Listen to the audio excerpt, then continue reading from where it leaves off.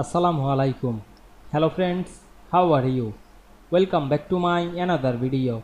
In this video, I am going to show you how to insert multiple image with title in PowerPoint per slide 4.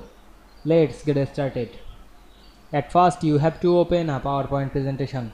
Then go to the insert menu and choose the photo album option. Then click file or disk option. Then choose multiple image. Press Ctrl on our keyboard. Then click insert. Then select the picture layout drop down menu and choose four picture with title. Then select the create option. Then wait some moment to inserting the image.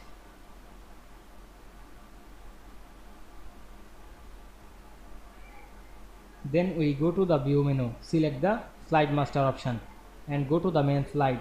Select the background style and make white. Then close master view now you can see here the add title option you can add title click inside the text box and we can see we insert four picture per slide very easily.